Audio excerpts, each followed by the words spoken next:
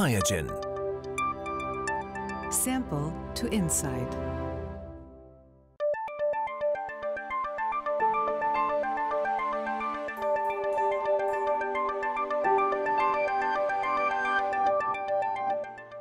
Hi there, my name is Jan Andreu. I'm working in the Department of Research and Development uh, in Life Science at QIAGEN. Me and my team are working on development technology for NGS applications. Today I would like to share with you a workflow that um, enables you copy number variation studies from single cells and it using the workflow from a new developed kit, the QIAseq FX single cell um, DNA library kit, together with low pass sequencing. Uh, so let me talk first about the copy number variations. Copy number variations, they are um, structural var variations of the genome. Um, normally, uh, they are deletions or duplications of um, uh, distinct number of base pairs, and um, have a play and may play a very important role uh, in the progression and the development, the progression of cancer, but also uh, to other human disorders how this analysis has been performed by now is uh, by using array comparative genomic hybridization assays, but um, they are very limited due to um, a low resolution. Um, with NGS analysis, we believe to have um, uh, a method and an opportunity to characterize copy number variations genome-wide with a very high resolution. For this work, we have used uh, the QIAseq FX DNA library kit. Um, this kit includes um, reagents and protocol for uh, to perform a whole genome amplification out of single cells, followed by library preparation. The whole genome amplification process, uh, it's an MDA-based process and the protocol is optimized in to deliver up to 40 microgram amplified DNA in only two hours. So um, the uh, is followed by fragmentation of the DNA that takes place in one tube uh, with end polishing of the fragments and then you have to add the adapter, adapter ligation mix with the adapters in order to complete the library. So um, there are no intermediate steps um, uh, that uh, lead to any material loss and at the end you don't need to, to, to perform PCR amplification of the library since the amounts of the WGA product they are very high and we can start the library preparation with a very high amount of DNA. Looking now at the sample to insight workflow while working with single cells, uh, we are starting with a primary sample isolation, going, uh, going then to the single cell isolation.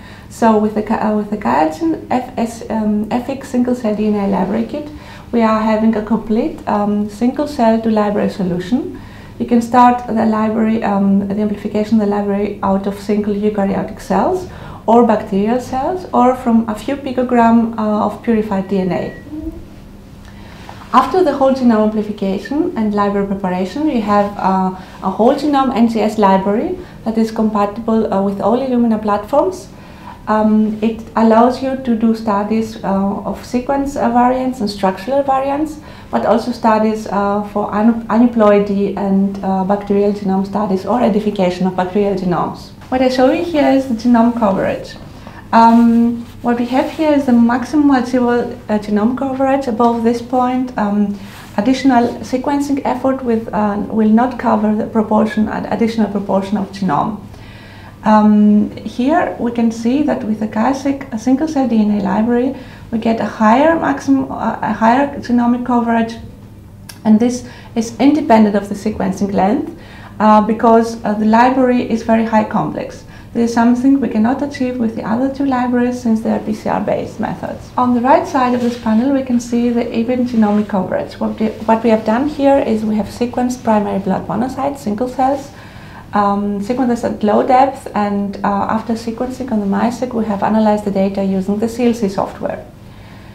Uh, what, we can, uh, what we are plotting here is the normalized coverage in 100 base pair bins that have distinct, uh, different uh, GC content. What we see here that we have um, uh, a very even coverage with the QIAseq FX kit, while with the competitor libraries here we have underrepresented high GC content um, regions. Um, high, GC-rich regions might be very important for people that are studying uh, bacterial cells with a high genome, with a, a, high GC content. And what we can see here that with our QIAseq FX single uh, library kit, we obtained an even genomic coverage that is very close to an unamplified material. So the next point I would like to go in is the fidelity um, uh, of um, the library preparation. Um, here we have um, sequenced again single cells um, using different, different um, kits. and after uh, sequencing, we have mapped uh, the data, the reads uh, on the human genome. And what I'm showing you here is um, the, the, proportion of mismatches that we have uh, while um, aligning, while mapping the uh, reads to the reference genome.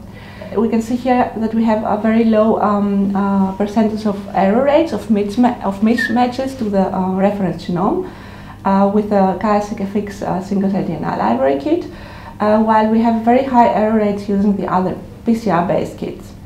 Um, what does it mean? Um, of course, um, some of these um, mismatches will represent polymorphisms or mutations that are in the genome we're studying.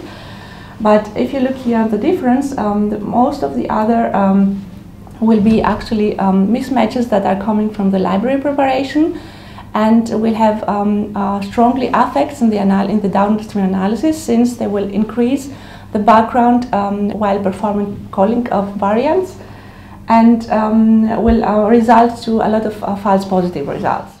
Um, let us um, take a closer look now uh, how this kit is working while wanting to detect subchromosomal copy number variations. What we have done uh, here is uh, we have uh, prepared libraries from single blood monocytes and Jurkat cells. The PBMCs here they are, there are control cells because they're known to be diploid and we have uh, sequenced them uh, on MiSeq at low depths, point X. And after that, uh, we have analyzed the results uh, using um, a script that we have found um, in, the, in the literature, by, and it's published by Z et al. And what we are uh, showing you here is um, uh, the log2 ratio of coverage um, Jurkat cells to PBMCs um, and we have counted this coverage um, in bins of uh, 500 kb. And what, what, we can see here, we can detect uh, deletion on chromosome 2 of about 25 megabase.